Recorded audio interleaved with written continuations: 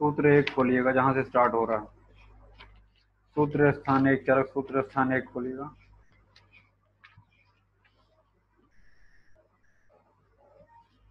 अथा तो दीर्घ जीवितीयम अध्यायम व्याख्या श्याम लिखा हुआ है, पहला अध्याय।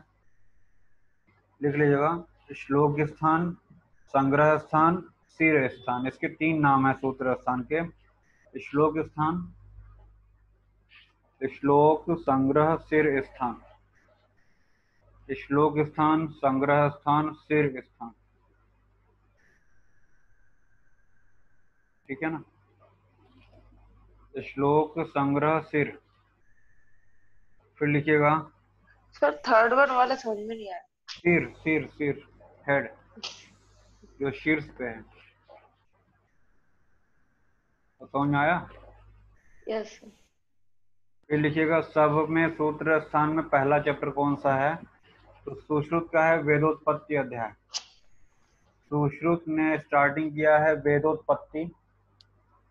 वेदोत्पत्ति।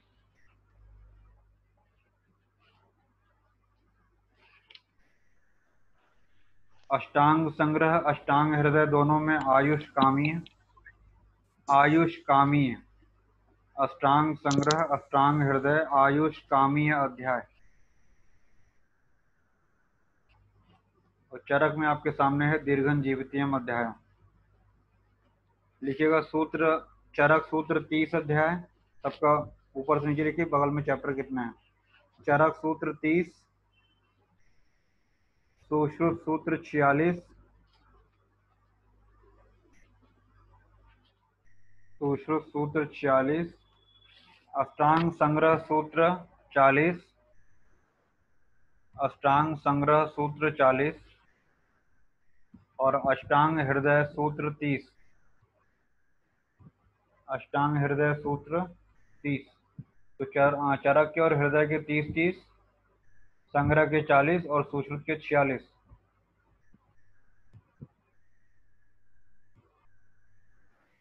पहला ही लिखा हुआ है प्रथमो अध्याय के नीचे, अथातो दीर्घन जीवत्यम अध्यायम व्याख्या श्यामा।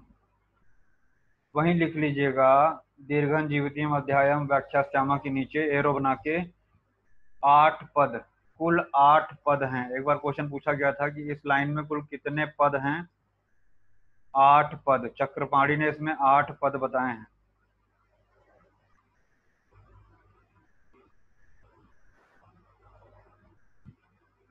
देखिए, नीचे विमर्श में लिखा हुआ विषय प्रवेश अर्थ शब्द मंगल से लिया गया है। अर्थ शब्द का अर्थ मंगल है।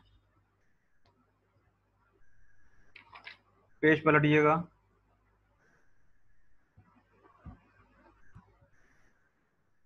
विमर्श में लगभग सातवीं, आठवीं लाइन देखिएगा। लिखा हुआ है, ऐषणाएँ। प्राण, धन और परलोक ऐषणा। मिला? लगभग आठवीं नवीं लाइन विमर्श में देखिएगा। तीन ऐषणाएँ प्राण धन परलोक ऐषणा। लिख लीजिएगा चरक सूत्र ग्यारह में तीन ऐषणाएँ। ये चरक सूत्र ग्यारह का है। चरक सूत्र ग्यारह में तीन ऐषणाएँ प्राण धन परलोक। प्राण धन और परलोक।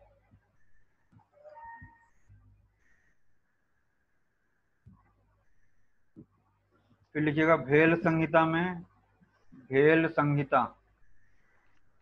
प्राण धन धर्म, प्राण धन एवं धर्म।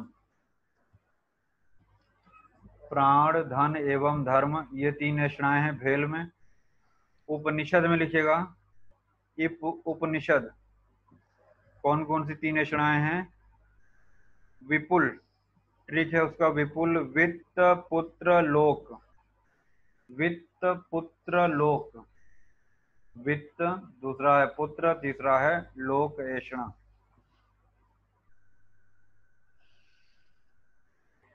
बिल्कुल नीचे से पांचवी लाइन देखिएगा इसी पेज पे। सूचनाद सूत्राण चैव संधानात ऐसा कुछ करके लिखा मिला? यस सर यस सर ये सूत्र स्थान की निरुक्ति है। सुश्रुत सूत्र तीन का है ये। सुश्रुत सूत्र तीन। रेफरेंस लिख लीजिएगा। सूचनात् सूत्राणाच्चैव संधानात् अर्थ संततेः सूत्रम तु सूचना कार्यग्रंथे तंतु व्यवस्थयोः यहाँ तक अंडरलाइन करिएगा इसको। फिर नेक्स्ट लाइन में देखिएगा जहाँ सुश्रुत लिखा हुआ है उसके बगल में एक शब्द लिखा है श्लोक स्थान। श्लोक स्थान को अंडरलाइन करिएगा। मिला? उसी के जस्ट नीचे वाली लाइन में श्लोक Yes, स्थान। सर उसी के नीचे देखिएगा अगली लाइन में शिरह शुभम। शिरह शुभम को अंडरलाइन करिएगा। यहाँ से हमने आपको बताया शिरह स्थान बोलते हैं। शिरह शुभम। उसी के लास्ट में देखिएगा संग्रह कृत यहाँ से हमने आपको बोला संग्रह स्थान। हो गया? Yes, sir. ये श्लोक स्थान वाला जो है वो चरक सूत्र तीस में आएगा अभी। लास्ट चैप्टर में चरक सूत्र तीस में आएगा। इसी पेज पे सबसे नीचे लास्ट लाइन देखेगा अनुबंध चतुष्ट मिला? Yes। ब्रैकेट में क्या लिखा हुआ? अनुबंध चतुष्ट डैश करके क्या लिखा हुआ है? अभितेः प्रयोजन संबंध अधिकारी। अभी अभी का प्रयोजन अधिकारी से संबंध आपको लास्ट लेक्चर में हमने बताया था। याद आ रहा है? Yes, तो अनुबंध अनुबंध चतुष्ट यही हो गया।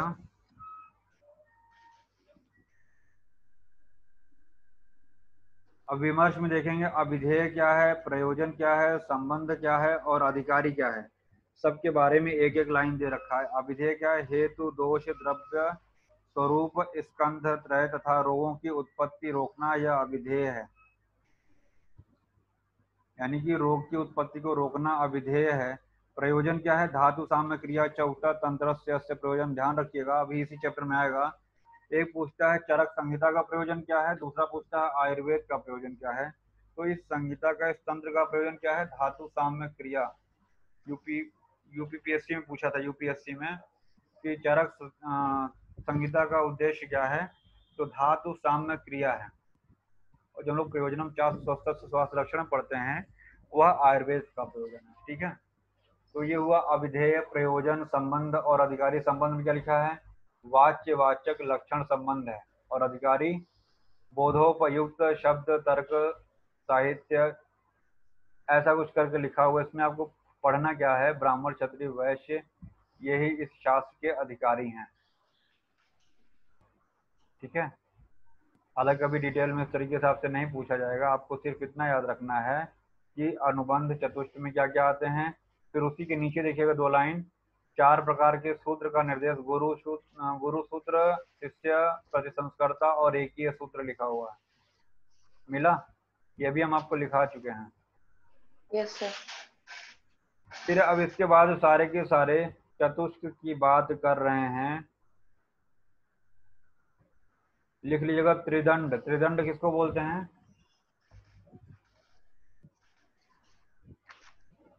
कोई बताया त्रिदंड? सत्व आत्मा शरीर। सत्व आत्मा शरीर को त्रिदंड कहते हैं।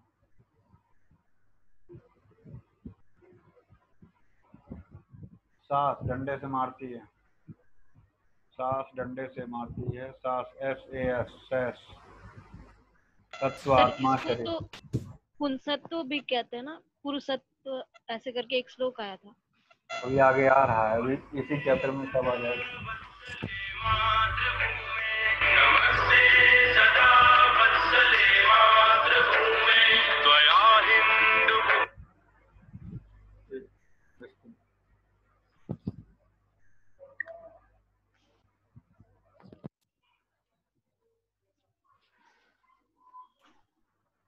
इसके बाद सारे के सारे चतुष्क के बारे में लिखा हुआ है ये हम लोग पढ़ चुके हैं।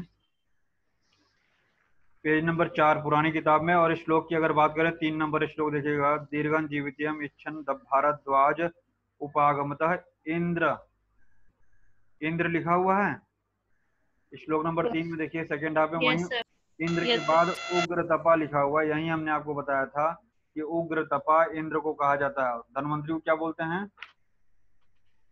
सर दीर्घ तपा हाँ दीर्घ तपा धनवंतरी। दीर्घ तपा उग्र तपा जो है भारद्वाज के लिए आया है ये। उग्र तपा भारद्वाज के लिए है।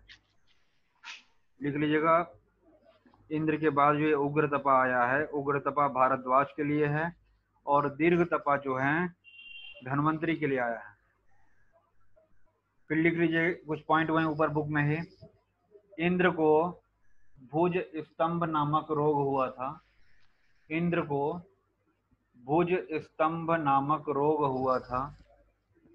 भुज स्तंभ। और लिखिएगा इंद्र इंद्र के पर्याय लिखिएगा शक्र शक्र, शचिपति शचिपति, बलहंता बलहंता। बलहंता, सहस्राक्ष सहस्राक्ष मतलब सहस्र, एक हज़ार नेत्र, सहस्राक्ष मेष वृषण मेष वृषण अमर गुरु, किसी का अनम्यूट है म्यूट कर लो। अमर गुरु। फिर लिखिएगा, सम्राट अशोक को ऊर्ध्व गुद नामक रोग हुआ था। सम्राट अशोक को ऊर्ध्व गुद नामक रोग हुआ था। तो भुज स्तंभ इंद्र को हुआ था और अशोक को क्या हुआ था? ऊर्ध्व गुद नामक। ऊर्ध्व गुद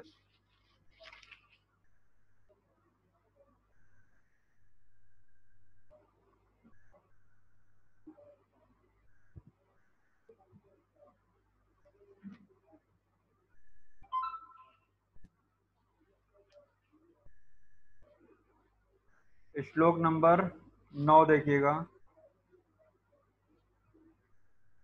श्लोक नंबर नौ। श्लोक नंबर नौ के ऊपर जो पहली लाइन है, वहाँ देखिएगा, आया होगा सांख्य। आत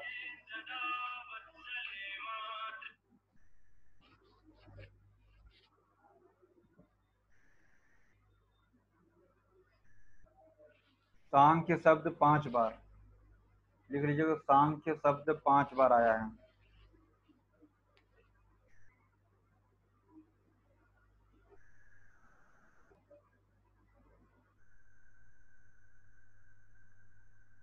यही देखिएगा हेडिंग पड़ा हुआ है महर्षियों की गणना। लिखा हुआ है चौदह श्लोक के बाद एक हेडिंग पड़ा हुआ महर्षियों की गणना। यस सर यस सर लिख लीजिएगा कुल तिरपन ऋषि।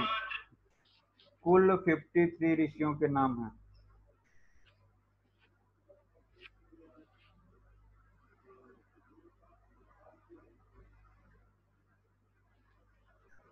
नौ नंबर में देखिएगा, नौ नंबर श्लोक में भिक्षु आत्रेय लिखा होगा, भिक्षु आत्रेय।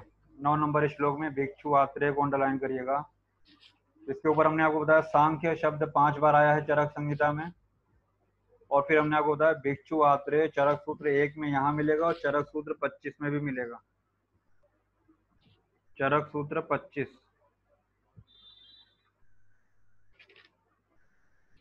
नीचे देखिएगा पंद्रह नंबर श्लोक क्या लिखा है?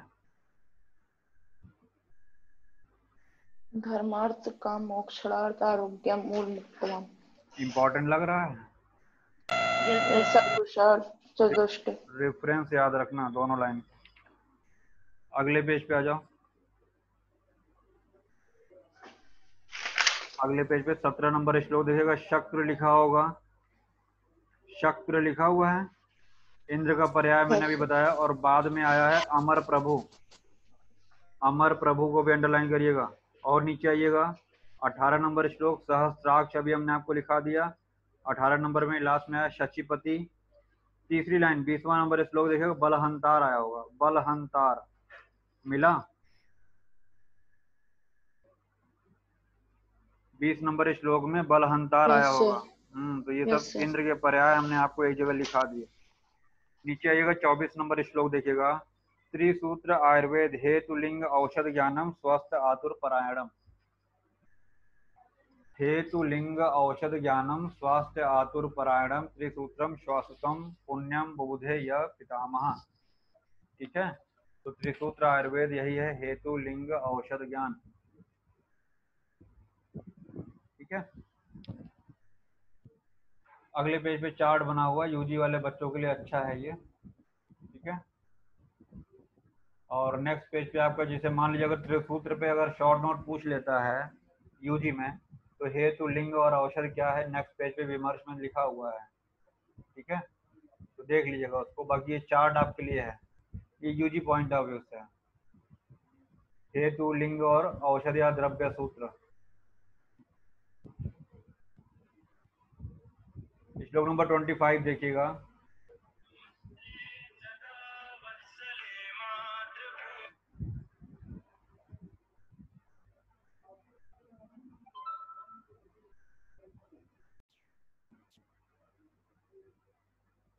क्लास खुद ही मिस नहीं करेंगे जब हमको पता जब हम पढ़ाएँगे तो हम बता देंगे त्रिसूत्र त्रिस्कंद लिखा हुआ है। पच्चीस नंबर श्लोक के बाद हिंदी में देखिएगा। त्रिस्कंद लिखा हुआ है हिंदी में सेकंड लाइन में। हेतु लिंग औषध मिला? सर उसी को आवलिक करके त्रिसूत्र भी लिख लीजिए। त्रिसूत्र या त्रिस्कंद यही है। हेतु लिंग औषध। अब ये देखिए 28 नंबर श्लोक इंपॉर्टेंट है। 28 नंबर श्लोक। यहीं पे षड पदार्थ की बात कर रहे हैं। ठीक है ना? इसमें क्रम याद रखना है आपको। और सबसे इम्पोर्टेंट बात क्या है कि यहाँ पे इन्होंने विमर्श में, भले हिंदी में षट पदार्थ लिखा है, लेकिन चरक ने कारण शब्द क्या प्रयोग किया देखिएगा। इति उत्तम कारणम कुछ करके ऐसे आया होगा, देखिए हम बताते हैं। सामान्यम च विशेषम च, गुणान, द्रव्याणि, कर्म च समवायम च तज ज्ञात्वा तंत्रोक्तम विधिमासिता। तो लिखिएगा S V G S V G D K S ये क्रम हो गया छठ पदार्थ का। S V G D K S S V G D K S तो सामान्य से स्टार्ट करेंगे हम लोग। अब इसमें दिक्कत ये होता है कि स्टार्टिंग में भी एस है और पीछे भी एस है। तो पहले क्या है? तो पहले सामान्य है और लास्ट में समवाय है, ये आपको याद रखना पड़ेगा। समवाय का मतलब जहाँ पे अपृथक भाव हो। ठीक है? समवाय का मतलब क्या होता है? अपृथक भाव हो।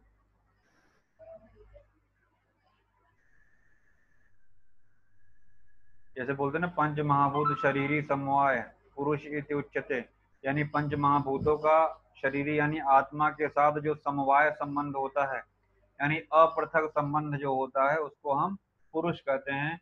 और जब वही पृथकता हो जाती है, आत्मा शरीर से पंच महाभूतों से अलग हो जाता है तो उसको हम क्या बोलते हैं? मृत शरीर बोलते हैं। ठीक है? पंच महाभूत शरीरी समवाय तो वहाँ समवाय शब्द आता है, अर्थात अपृथक भाव है।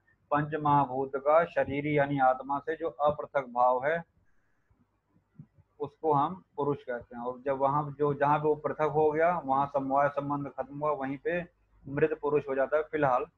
अभी जब हम बताएँगे अलग अलग तो वहाँ पे हम लोग चर्चा करेंगे। तो ये हुआ S V G D K S ये षट पदार्थ की बात कर रहे हैं। नेक्स्ट पेज पे तीस नंबर श्लोक की बात करेंगे हम लोग।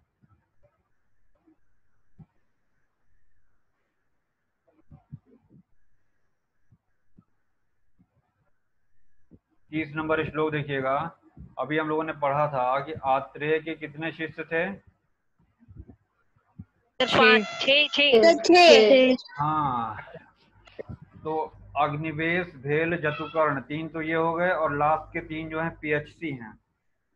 पीएचसी पी से पराशर। पारिश पाराशर हारित और जतुकर नहीं जतुकर्ण तो तीसरा चार पाड़ी सर चार पाड़ी चार पहाड़ी सी सी से छार पानी हो गया। पीएचसी होता है ना प्राइमरी हेल्थ सेंटर वैसे पीएचसी है। तो पराशर हारित और छार पानी और स्टार्टिंग में क्या है? A B ji A B J कहिए चाहे ए बी जी कहिए A B G P H C ठीक है ना? A B G P H C एक और बनाया था। अपराजित है वो गलत हो जाएगा। यही सही है। A B G P H C सही है इससे याद भी रहता है। हाँ ऊपर एक विमर्श रह गया था। पेज नंबर ग्यारह अगर आपका चल रहा होगा या यूँ समझिए कि ये अट्ठाईस नंबर श्लोक का जो विमर्श चल रहा है तो विमर्श की लगभग दसवीं बारहवीं लाइन में एक श्लोक आया होगा अक्षी कुक्षी भवा रोगा मिला? प्रतिशाय व्रण ज्वरा। यस सर यस पंचेते विनिर्वर्तनते रोगा केवल लंघनात्। ये चक्रपाणी की लाइन है। मतलब लंघन करने से ये सभी रोग जो हैं, शांत हो जाते हैं। ठीक है ना? मात्र लंघन कराने से, यानी भोजन न कराने से ये सभी रोग शांत हो जाते हैं।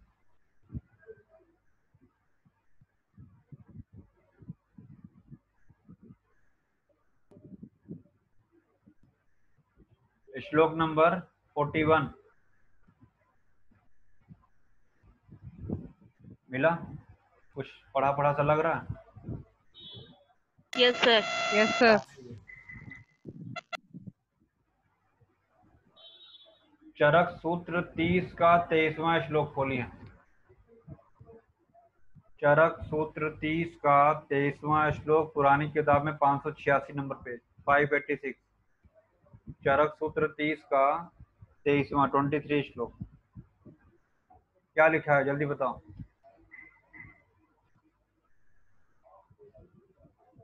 बताओ।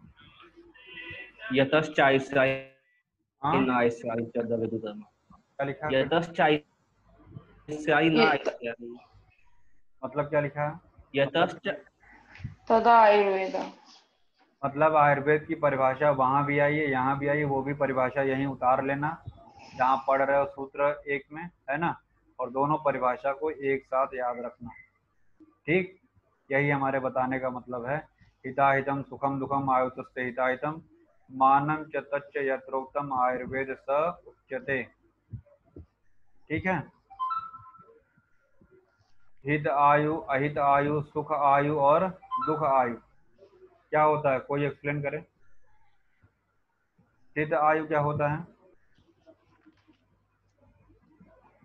सर मतलब जो आयु के लिए हितकर है। और? और सर अहित आयु वो जो आयु के लिए जो मतलब जीवन के लिए अहितकर है। और सुख आयु सर जो सुख कारक है और दुख आयु जो दुख कारक है आयु के लिए। और? और बताओ बताओ बताओ अच्छा बता रही हो। हम्म, और सर फिर उसके बाद आयुष से हिता हितम और सर जो हित और अहित है आयु के लिए आयुर्वेद स उच्यते उसको आयुर्वेद कहा जाता है। विमर्श पढ़िएगा यहाँ पे। विमर्श पढ़िएगा और इससे भी अच्छा हम आपको अभी व्हाट्सएप भेजते हैं ठीक है ना? हित आयु, अहित आयु, सुख आयु और दुख आयु, यहाँ उतना अच्छा नहीं एक्सप्लेन किया गया है। अभी आपको मैं भेजता हूँ, ठीक है? जब भी आयुर्वेद की परिभाषा लिखेंगे तो इसके साथ में वो ज़रूर मेंशन करिएगा। सूत्र तीस वाला श्लोक। नीचे देखिएगा, श्लोक नंबर फोर्टी टू शरीर इंद्रिय सत्वात्म संयोगो धारी जीवितम नित्यग अनुबंधश्च पर्याय आयु उच्चते मिला? शरीर, इंद्रिय, मन। सर सत्व मन को बोलते हैं, आत्मा के संयोग को आयु कहते हैं। और पर्याय क्या है? धारी, जीवित नित्यग और अनुबंध। ये इसके पर्याय हैं।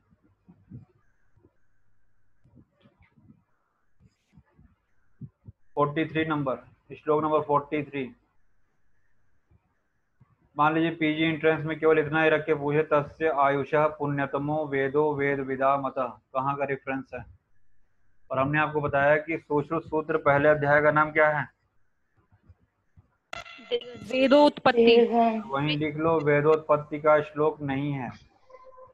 वेदोत्पत्ति का श्लोक नहीं है। रेफरेंस याद रखिएगा चरक सूत्र एक का है। नेक्स्ट पेज पे देखिएगा सामान्य की परिभाषा जो हम लोग बचपन से पढ़ते आ रहे हैं सर्वदा सर्वभावानाम सामान्य वृद्धि कारणम। ह्रास हेतु विशेषश्च प्रवृत्ति उभयस्य तु। मिला? सर्वदा सर्वभावानाम पदार्थ विज्ञान में पढ़ा होगा आपने। सदा सभी भावों की वृद्धि करने वाला सामान्य होता है और मुझे लगता है कि अगर हमको आयुर्वेदिक कॉन्सेप्ट की बात करें फंडामेंटल कॉन्सेप्ट की बात करें चिकित्सा पॉइंट ऑफ़ व्यू से तो अगर टॉप पे रखना होगा तो ये सिद्धांत मैं टॉप पे रखूँगा। ठीक है ना? टॉप पे इसलिए रखूँगा फॉर एग्ज़ाम्पल जैसे कोई वातिक प्रकृति का व्यक्ति है या किसी का वात बढ़ा हुआ है तो हमको विशेष सिद्धांत फॉलो करते हुए ऐसे द्रव्यों का सेवन कराना है जो वात को घटाएँ, ना कि बढ़ाएँ। अगर हम सामान्य फॉलो कर लेंगे तो हम बात को एग्रीवेट करने वाले और हम रूक्ष द्रव्यों का सेवन कर लेंगे, शीत द्रव्यों का सेवन कर लेंगे। तो ये क्या हुआ? सामान्य के कारण जो है और रुक्षता और वात को वो एग्रीवेट कर देंगे।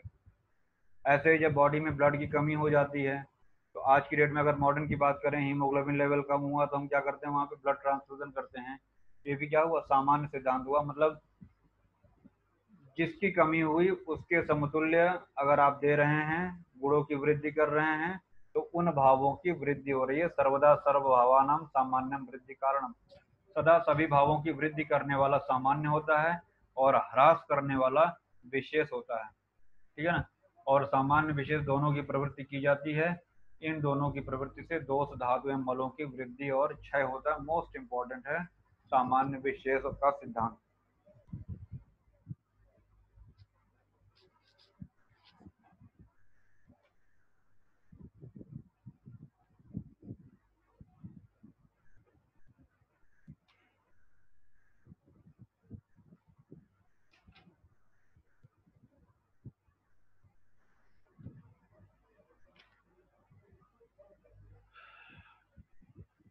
विमर्श में आइएगा।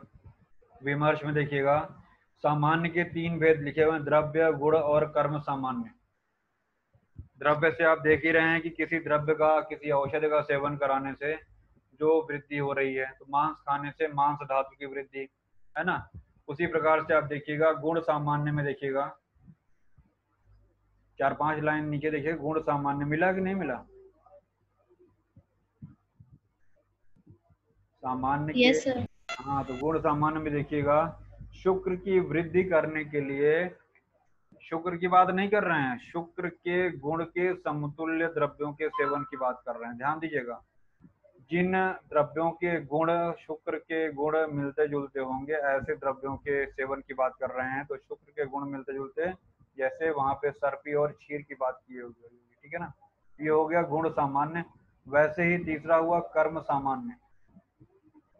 कर्म सामान्य की अगर हम बात करें, जैसे हमको वाद को बढ़ाना है, हम किताब नहीं पढ़ रहे, हम ऐसे बता रहे हैं। अगर हमको वाद को बढ़ाना है, कहीं पे वाद कम हुआ है, अगर हमको वाद को बढ़ाना है तो हम क्या करेंगे? उसको दौड़ा देंगे एक्सरसाइज करा देंगे उसको। ठीक है? प्रजागरण करा देंगे, रात भर जगा देंगे तो वाद बढ़ जाएगा।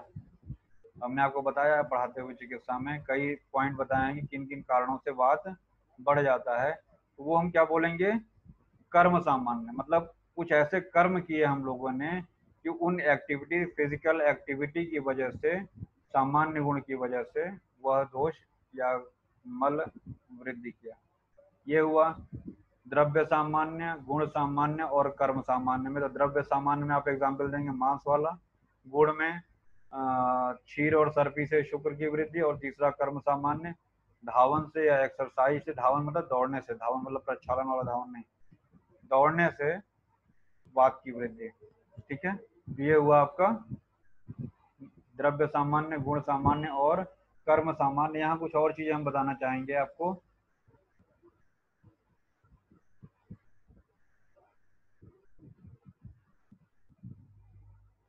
हाँ। भट्टार हरिश्चंद्र का। नीचे से देखिए, विमर्श में एक अत्यंत सामान्य, मध्य सामान्य और एक देश सामान्य आया है। मिला? यस वहीं लिख लीजिएगा भट्टार हरिश्चंद्र का। कौन सी टीका थी इनकी?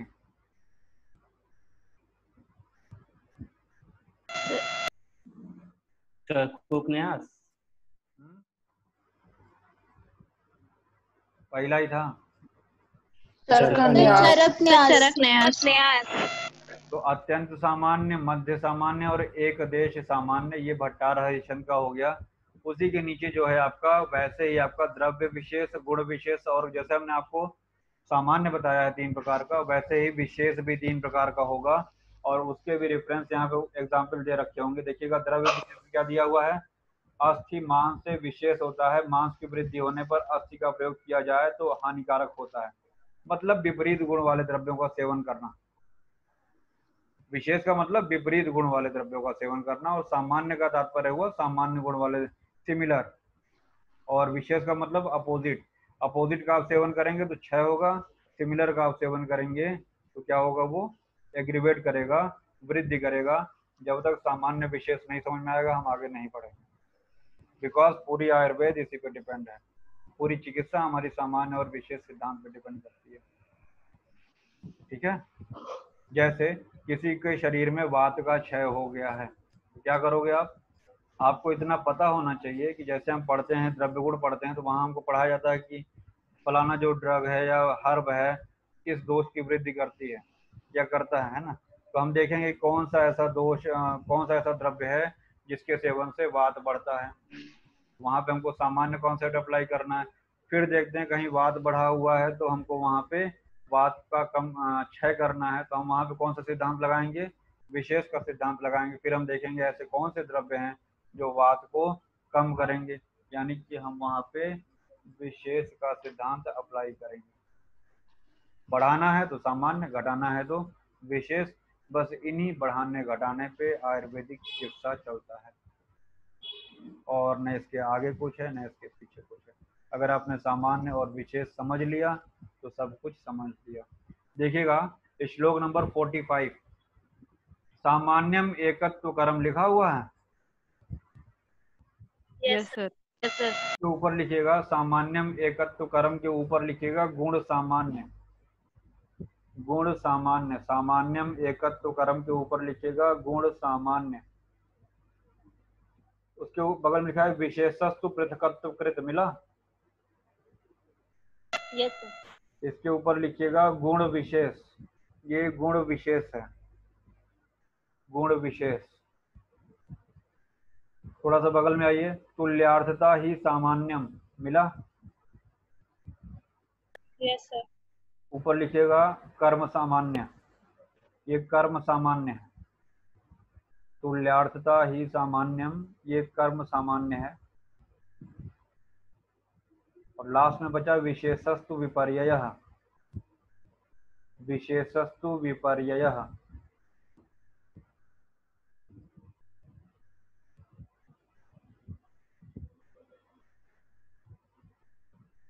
इसको लिखिएगा कर्म विशेष।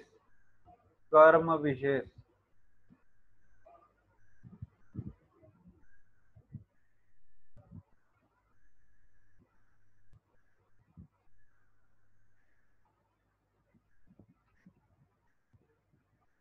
पूरा का पूरा विमर्श पढ़ना है इसका, है ना?